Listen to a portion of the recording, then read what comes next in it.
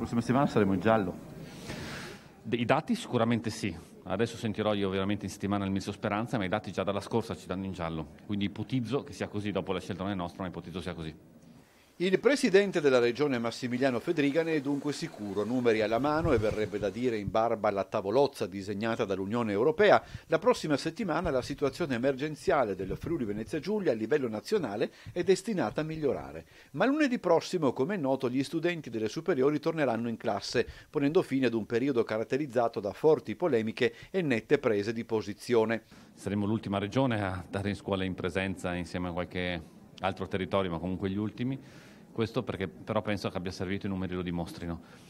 Il presidente della regione è fiducioso, anche perché soprattutto per quel che riguarda il trasporto pubblico, il Friuli Venezia Giulia ha messo in atto una serie di provvedimenti che dovrebbero garantire la sicurezza degli studenti e delle famiglie. Stiamo cercando di seguire ovviamente tutti i protocolli di questo e questo è fondamentale e io sono convinto che il principio di precauzione che vedo stanno attuando molte scuole, ovvero quello di tenere il 50% non il 75%, sia utile soprattutto in questo periodo. Nei giorni scorsi gli studenti di sette superiori cittadine hanno sottoscritto una lettera aperta in cui chiedevano di poter rientrare in sicurezza, lettera che Federica molto apprezzato, così come l'atteggiamento complessivo di un gruppo di studenti, segnatamente del liceo Petrarca, che ieri ha incontrato. Sono molto più forti, si lamentano molto di meno e sono molto più diciamo, eh, responsabili di qualche adulto che ho incontrato e questo devo ringraziare molti studenti anche per la lettera che mi hanno mandato ieri. Ho visto molto più responsabilità fra gli studenti che su qualcuno magari più in là con l'età.